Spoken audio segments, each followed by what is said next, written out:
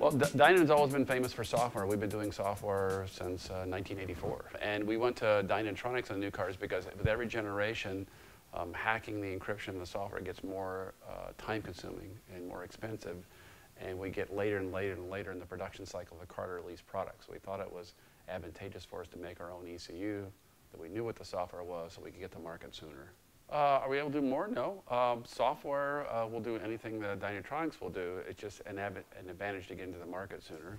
Um, but also what we noticed with was, and the reason we like software so much is all the piggyback boxes that we see in the marketplace don't do a very good job of controlling all the signals that need to be controlled. And there was always tuning compromises. Where with the software, there was no tuning compromises. So the reason it got so elaborate, wound up with such a big wiring harness with so many signals going through it, so we could correct for everything that needed to be corrected for and have it run like it was software.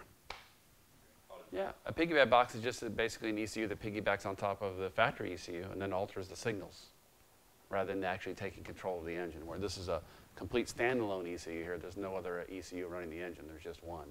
And when we had software, we just used the original ECU that came in the car and remapped it.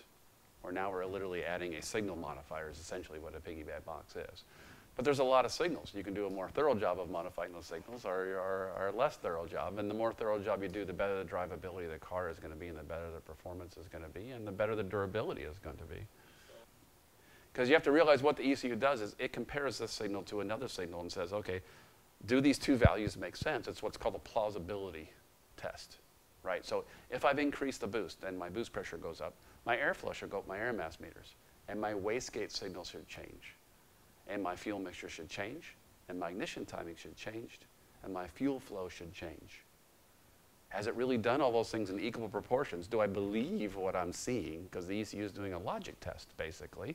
And if those signals don't all match, it says, I see a problem, and either will set a fault or go into limp home mode.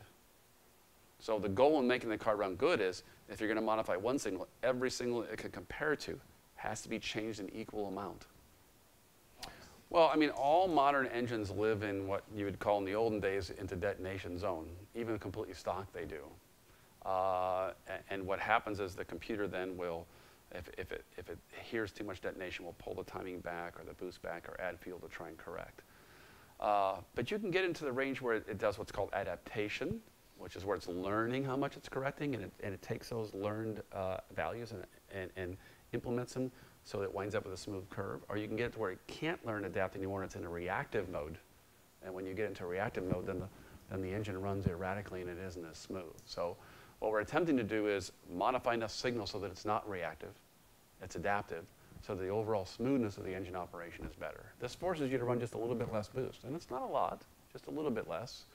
Typically, we're giving up about uh, 5 to 10 horsepower from our competition to make the engine run glassy smooth and be durable and not set a fault. Not very much. I mean, you, you have a M5 that makes 700 horsepower. Does it need to make 705 to run bad? You know, M3 makes, you, know, you can make it make 530, so you have to detune it to 521 for it to run smooth. Worth giving up 9 horsepower to make the car run smooth? I, I think it is. And, you know, not just from a durability standpoint, but, but how nice the car drives, because it's not just about the ultimate numbers, is you don't want the car to run erratic. You know, for example, if you raise the boost too much on the M3 when you change gears, there's a load spike, and the knock sensor goes off, and the car falls on its face, and then it picks back up again. Once the detonation goes away, and you shift again, it falls on its face again, and you lose as much time on it falling on its face as you gain by running the extra boost in between, and so the car doesn't really accelerate any faster. You can certainly put it on a chassis dynamometer, you can measure a higher power number, but the car doesn't actually go as fast. You know, so we don't want to compromise the overall speed of the car. The goal here is make the car not, you know, as fast as possible, but also uh, nice and refined and, and, and, and easy to drive and control. And, and, and, all those factors are important as well, not just the raw numbers. So if we have to give up 5 or 10 horsepower to make the car run better, we'll do it all day long. Yeah, on the, on the 550, 650, 750 uh, um, N63 engine, we put intercoolers, intake exhaust, turned the boost up, and put big turbochargers on it. And on the dynamometer, uh, it made more power. Uh, but we went on the road uh, the car was not as fast as we expected it to be. We lowered the boost a pound, and on the data logger on the road, the car went faster. A and the reason being is on the road you have ram air, which forces more into the engine. The heat exchanger cools more the intercooler, and the radiator runs cooler. So the cylinder pressure goes up because we're basically filling the cylinder better. When the cylinder pressure goes up, the knock sensor goes off, When the knock sensor goes off, it retards the timing and slows the engine down. So since the engine was making more power on the road, and we can show you this later on with data logging temperatures on the dynamometer versus the road, uh, it, it required us to lower the boost because they were making so much boost. The knock sensor was very active, reactive, not adaptive. And this caused the engine to lose acceleration and be erratic in its performance. We backed the boost off a pound, the car actually went faster. So boost pressure doesn't necessarily always equate to more speed. It's a gauge pressure number, right? What we really want is the car to go faster, and sometimes a little bit less boost makes the car go faster than a little bit more. Yeah, we, we, we, hear a lot that we're conservative. We don't believe we're conservative. We, what we believe is we tune the engine correctly. Sometimes that forces us, like I say, to make five or 10 less. We also are very, very accurate about our measurement of our power numbers, which you're going to see later on as we go through a few more things.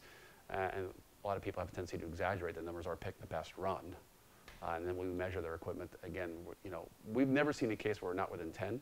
Oftentimes, when people claim more, we're actually making more than them. We've seen the case where we're actually making more than them. So we're in or about the power other people are making, but with a higher level of refinement and smoothness in the process.